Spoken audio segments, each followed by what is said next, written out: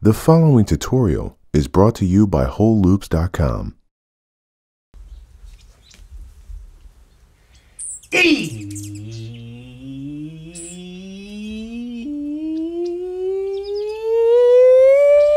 It's production time.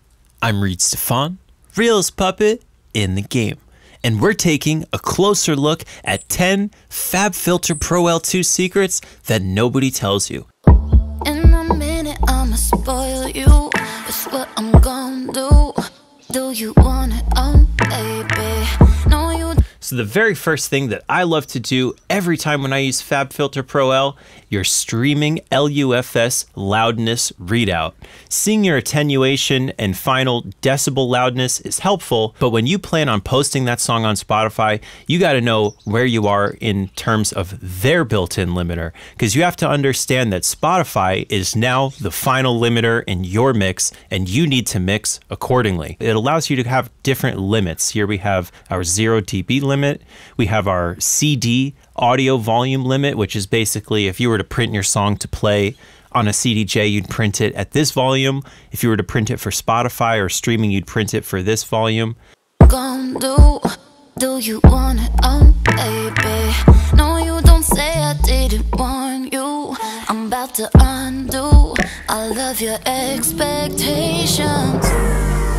Don't waste it and close your eyes. And as you can see, I just changed momentary to short term, which gives you slightly slower readouts.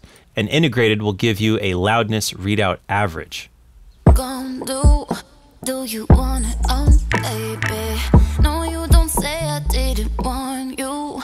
I'm about to undo all of your expectations. So right around there is where I would want to be for my Spotify upload.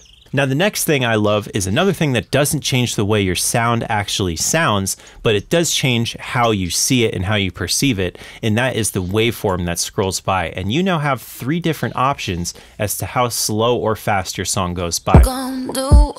Do? You want it? Oh, baby. No, you don't say I didn't warn you. I'm about to undo all of your expectations. Don't it and close your eyes. Just trace it between the lines.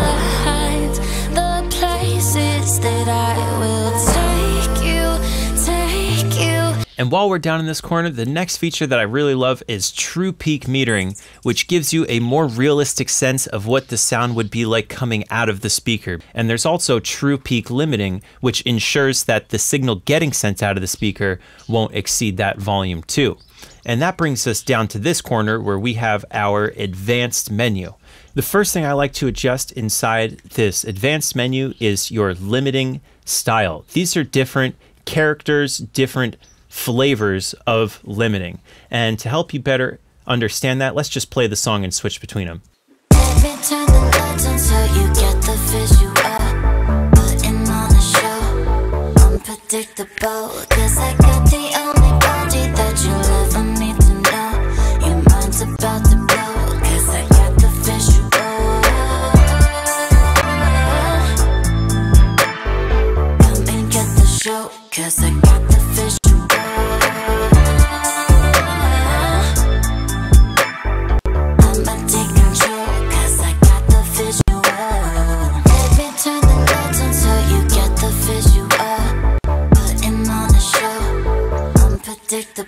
My favorite is modern. It's a great all around for any style of music that you want to maintain the punch and get it loud. Modern is going to work quite nicely for you. I also do like dynamic quite a bit. And a really cool new feature that they gave you to really understand the difference is this new uh, solo button that they have here so you could hear what the limiter is actually doing.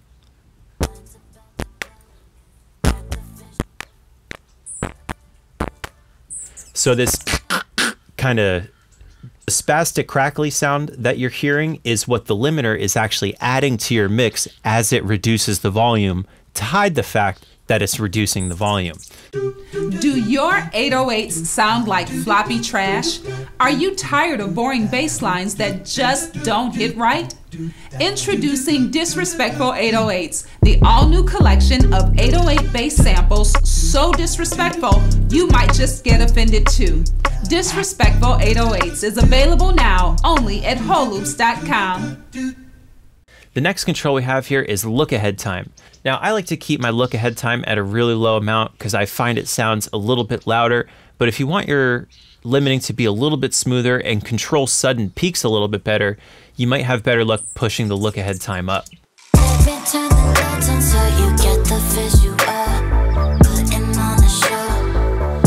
Unpredictable, cause I got the only body that you ever need to know.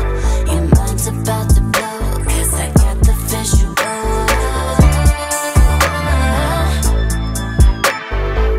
I've always found it to be more punchy but slightly more aggressive with the harmonics that it adds to make up for it when you push this down. So really the default position tends to be my favorite place to keep it. The next we have the attack and release of the limiter and this controls how reactive it is to the peaks and how quickly it reacts and also how quickly it returns back to a normal spot.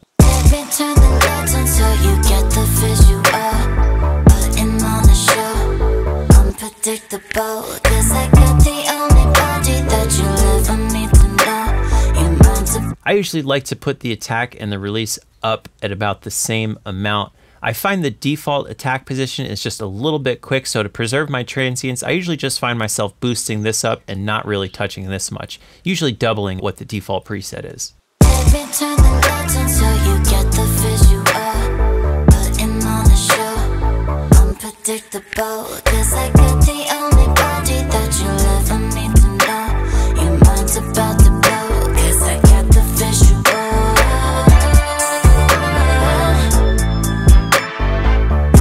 Next we have channel linking. This will take the loud information and push it towards the center, or it will take the stereo information and keep it loud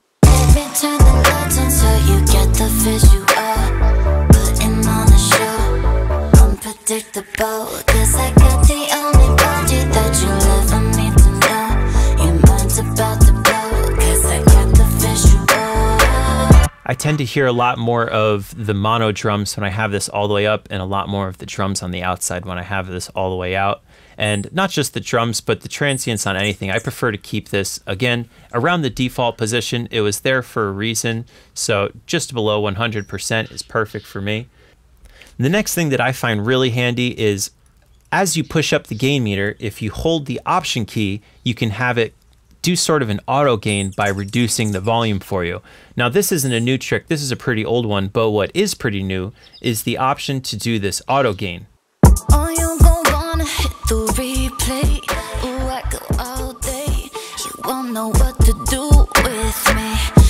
Now what this is doing is making sure that as you increase it, there's absolutely no difference in volume as you limit it. This is a difference in perceived volume, whereas just holding the alt trick is just literally doing whatever the number is here, doing the same number here. Finally, we have an option here called oversampling, and they used to just give you 2 and 4x, but now they've increased it to 8 and 16x. What this does is reduce how noticeable the artifacts are that we listen to when we hit this audition limiting button but it also uses a ton more CPU.